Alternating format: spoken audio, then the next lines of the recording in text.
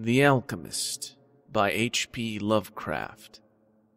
High up, crowning the grassy summit of a swelling mound whose sides are wooded near the base with the gnarled trees of a primeval forest, stands the old chateau of my ancestors. For centuries, its lofty battlements have frowned down upon the wild and rugged countryside about, serving as a home and stronghold for the proud house whose honored line is older even than the moss-grown castle walls. These ancient turrets, stained by the storms of generations and crumbling under the slow yet mighty pressure of time, formed the ages of feudalism, one of the most dreaded and formidable fortresses in all of France. From its maculated parapets and mounted battlements, barons, counts, and even kings had been defied, yet never had its spacious halls resounded to the footsteps of an invader. But since those glorious years, all has changed. A poverty but little above the level of a dire want, together with the pride of a name that forbids its alleviation by the pursuits of commercial life, have prevented the scions of our line from maintaining their estates in pristine splendor, and the falling stones of the walls, the overgrown vegetation in the parks, the dry and dusty moat, the ill-paved courtyards, and the toppling towers without, as well as the sagging floors, the worm-eaten wainscots, and the faded tapestries within, all tell the gloomy tale of fallen grandeur. As the ages passed, first one, then another of our four great turrets were left to ruin, until at last but a single tower housed the sadly reduced descendants of the once mighty lords of this estate. It was in one of the vast and gloomy chambers of this remaining tower that I, Antony, last of the unhappy and accursed Comtes de Cal, first saw the light of day ninety long years ago. Within these walls, and amongst the dark and shadowy forests, the wild ravines and grottos of the hillside below, were spent the first years of my troubled life. My parents I never knew. My father had been killed at the age of thirty-two, and a month before I was born, by the fall of a stone somehow dislodged from one of the deserted parapets of the castle. My mother having died at my birth, my care and education devolved solely upon the one remaining servitor, an old and trusted man of considerable intelligence, whose name I recall as Pierre. I was an only child, and the lack of companionship which this fact entailed upon me was augmented by the strange care exercised by my aged guardian in excluding me from the society of the peasant children whose abodes were scattered here and there upon the plains that surround the base of the hill. At the time, Pierre said that this restriction was imposed upon me because my noble birth placed me above association with such plebeian company. Now I know that its real object was to keep me from my ears the idle tales of the dread curse upon our line, by the simple tenantry as they conversed in hushed accents in the glow of their cottage hearths. Thus isolated, I had thrown upon my own resources, I spent the hours of my childhood in poring over ancient tomes that filled the shadow-halled library of the chateau, and in roaming without aim or purpose through the perpetual dusk of the spectral wood that clothes the side of the hill near its foot. It was perhaps an effect of such surroundings that my mind early equated a shade of melancholy. Those studies and pursuits which partake of the dark and occult in nature most strongly claimed my attention. Of my own race I was permitted to learn singularly little, yet what small knowledge of it I was able to gain seemed to depress me much. Perhaps it was at first only the manifest reluctance of my old preceptor to discuss with me my parental ancestry that gave rise to the terror which I have ever felt at the mention of my great house. Yet as I grew out of childhood, I was able to piece together disconnected fragments of discourse let slip from the unwilling tongue which had begun to falter in approaching senility that had a sort of relation in a certain circumstance which I had always deemed strange, but now became dimly terrible. The circumstance to which I allude is the early age at which all the Comtes of my line had met their end, whilst I had hitherto discovered this but a natural attribute of a family of short-lived men. I afterward pondered long upon these premature deaths, and began to connect them with the wanderings of an old man, who often spoke of a curse which for centuries had prevented the lives of the holders of my title from much exceeding the span of thirty-two years. Upon my twenty-first birthday, the aged Pierre gave me a family document, which he said had, for many generations, been handed down from father to son and continued by each processor. Its contents were of the most startling nature, and its perusal confirmed the gravest of my apprehensions. At this time, my belief in the supernatural was firm and deep-seated, else I should have dismissed with scorn the incredible narrative that unfolded before my eyes. The paper carried me back to the days of the thirteenth century, when the old castle in which I sat had been feared and impregnable of a fortress. It told of a certain ancient man who had once dwelt on our estates, a person of no small accomplishments, though little above the rank of a peasant, by name Michael, usually designated by the surname of Maval, the evil on account of his sinister reputation. He had studied beyond the custom of his kind, seeking such things as the philosopher's stone or the elixir of eternal life, and was reputed wise in the terrible secrets of black magic and alchemy. Michael Maval, named Charles, a youth as proficient as himself in the hidden arts, and who had therefore been called Le Sorcier, or the Wizard. This pair, shunned by all honest folk, were suspected of the most hideous practices. Old Michael had said to have burnt his wife alive as a sacrifice to the devil, and the unaccountable disappearances of many small peasant children were laid on the dreaded door of these two. Yet without the dark natures of the father and the son ran one redeeming ray of humanity, the evil old man loved his offspring with fierce intensity, whilst the youth had for his parent more than filial affection. One night the castle on the hill was thrown into the midst of confusion by the vanishment of young Godfrey, son to Henri the Comte.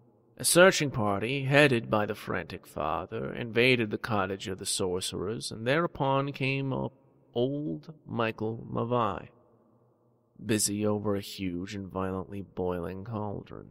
Without certain cause, in the ungoverned madness of fury and despair, the Comte laid hands on the aged wizard, and ere he released his murderous hold, his victim was no more.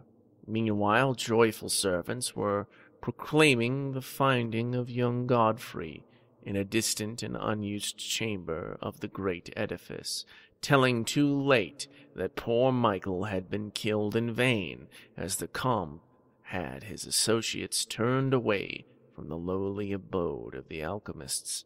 The form of Charles Le Sorcier appeared through the trees. the excited chatter of the Menais, standing about him what had occurred, yet he seemed at first unmoved at his father's fate. Then, slowly advancing two feet to the Comte, he pronounced in dull yet terrible accents the curse that ever afterward haunted the house of Comte. May ne'er a noble of the murderous line survive to reach a greater age than thine, spake he, when suddenly leaping backwards into the black wood. He drew from his tunic a phial of colorless liquid, which he then threw into the face of his father's slayer as he disappeared behind the inky curtain of the night. The Comte died without utterance, and was buried the next day. But little more than two and thirty years from the hour of his birth, no trace of the assassin could be found, though relentless bands of peasants scoured the neighboring woods and the meadowland around the hill. Thus, time and the want of a reminder dulled the memory of the curse in the minds of the late Comte's family, so that when Godfrey, innocent cause of the whole tragedy now bearing the title, was killed by an arrow whilst hunting, at the age of thirty-two, there were no thoughts, save those of grief at his demise. But when years afterwards the young Comte, Robert by name, was found dead in a nearby field from no apparent cause. The peasants told in whispers that their seigneur had but lately passed his thirty-second birthday when he's surprised by earthly death.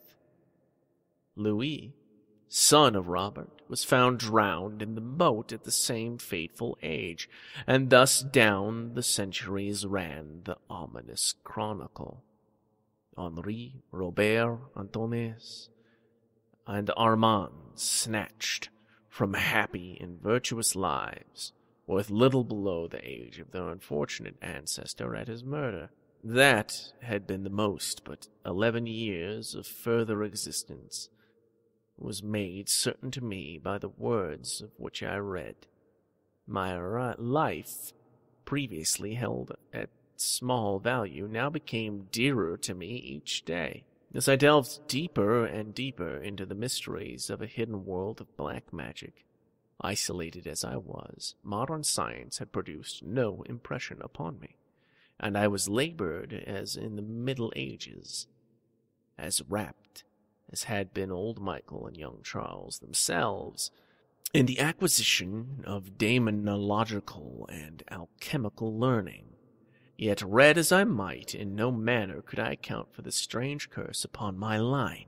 At unusually rational moments, I would even go so far as to seek a natural explanation, attributing the early deaths of my ancestors to the sinister Charles Le Sorcier and his heirs, yet having found upon careful inquiry that there were no known descendants of the alchemists, I would fall back to occult studies, and once more endeavor to find a spell that would release my house from its terrible burden. Upon one thing I was absolutely resolved. I should never wed.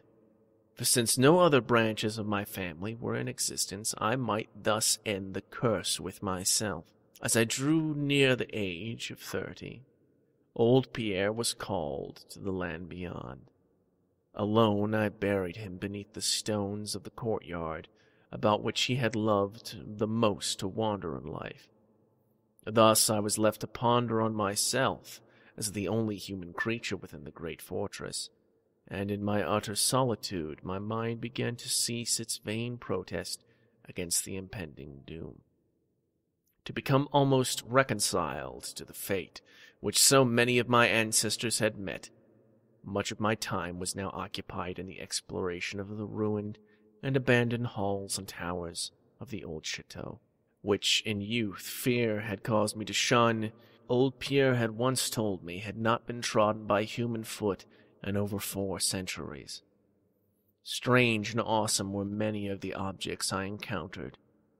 Furniture, covered by the dust of ages and crumbling with the rot of long dampness, met my eyes, Cobwebs in a profusion never before seen by me were spun everywhere, and huge bats flapped their bony and uncanny wings on all sides of the underwise unattended gloom. Of my exact age, even down to days and hours, I kept the most careful record, each movement of the pendulum of the massive clock in the library told off so much more of my doomed existence. At length I approached the time which I had so long viewed with apprehension. Since most of, most of my ancestors had been seized some little while they had reached the exact age of Comte Henri at his end, I was every moment on the watch for the coming and unknown death. In what strange form the curse should overtake me, I knew not. But I was resolved at least that it should not find me a cowardly or passive victim. With new vigor, I applied myself to my examination of the old chateau and its contents. It was upon one of the longest of all my excursions of discovery in the deserted portion of the castle less than a week before that fatal hour which I felt must mark the utmost limit of my stay upon the earth, beyond which I could have not seen even the slightest hope of continuing to draw breath, that I came upon the culminating event of my whole life. I had spent the better part of the morning in climbing up and down half-ruined staircases in one of the most dilapidated and ancient of the turrets. As the afternoon progressed, I sought the lower levels, descending into what appeared to be either a medieval place of confinement or more recently excavated storehouse for gunpowder. As I slowly traversed the nitre-encrusted passageway at the foot of the last staircase, the paving became very damp, and soon I saw by the light of my flickering torch that a bank, water-stained wall impeded my journey. Turning to retrace my steps, my eyes fell upon a small trap door with a ring, which lay directly beneath my feet. Pausing, I succeeded with difficulty in raising it, whereupon there was relieved a black aperture, exhaling noxious fumes which caused my torch to sputter and disclosing an unsteady glare to the top of a flight of stone steps. As soon as the torch, which I lowered into the repellent depths, burned freely and steadily, I commenced my descent. The steps were many, and led to a narrow stone-flagged passage which I knew must be far underground. The passage proved of great length and terminated in a massive oaken door, dripping with the moisture of the place, and stoutly resisting my attempts to open it. Ceasing after a time my efforts in this direction, I proceeded back some distance over the steps when suddenly fell to my experience one of the most profound and maddening shocks capable of reception by the human mind. Without warning, I heard the heavy door behind me creak slowly open upon its rusted hinges. My immediate sensations are incapable of analysis. To be confronted in a place as thoroughly deserted as I had deemed the old castle with evidence of the presence of man or spirit produced my brain a horror of the most acute description. When at last I turned and faced the seat of the sound, my eyes must have started from their orbits at the sight of what they beheld there in the ancient Gothic doorway stood a human figure. It was that of a man clad in a skull cap and a long medieval tunic of dark color. His long hair and flowing beard were of terrible and intense black hue, an incredible profusion. His forehead high beyond the usual dimensions, his cheeks deep sunken and heavily lined with wrinkles, and his hands long, claw-like and gnarled, were of such a deathly, marble-like whiteness as I had never elsewhere seen in a man. His figure, lean to the proportions of a skeleton, was strangely bent and almost lost within its voluptuous folds of his particular garment.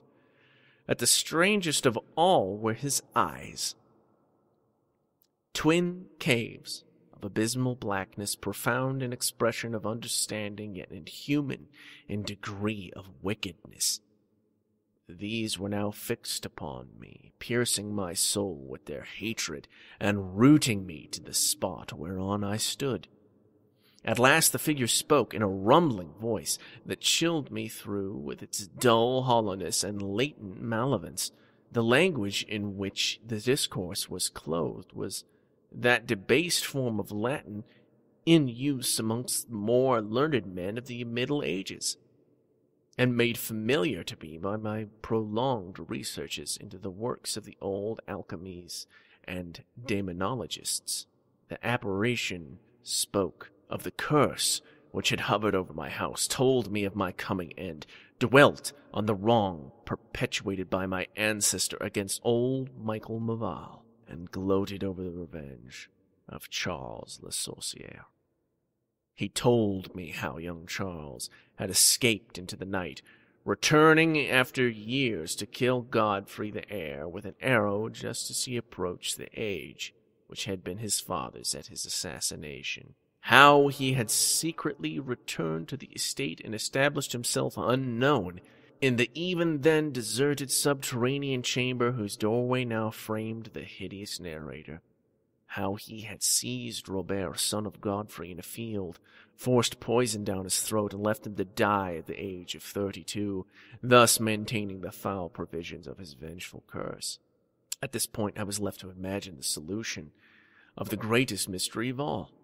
How the curse had been fulfilled since the time in which Charles Le Sorcier must in the course of nature have died, for the man digressed into an account of the deep alchemical studies of two wizards, father and son, speaking most particularly of the researches of Charles Le Sorcier concerning the elixir which should grant to him who partook of it eternal life and youth. His enthusiasm had seemed for the moment to remove from his terrible eyes the hatred that had so haunted them. But suddenly the fiendish glare returned, and with a shocking sound like a hissing of a serpent, the stranger raised a glass phial to the evident intent of ending my life, as had Charles Le Sorcier, six hundred years before, ended that of my ancestor. Prompted by some preserving instinct of self-defense, I broke through the spell that had hitherto held me immovable, and flung my now dying torch at the creature who menaced my existence. I heard the phial break harmlessly against the stones of the passage as the tunic of the strange man caught fire and lit around the horrid scene with a ghastly radiance. The shriek of fright and impotent malice emitted by the would-be assassin proved too much for my already shaken nerves, and I fell prone upon the slimy floor in total faint. When last my senses returned, all was frightfully dark, and my mind, remembering what had occurred, shrank from the idea of beholding more, yet curiosity overmastered all.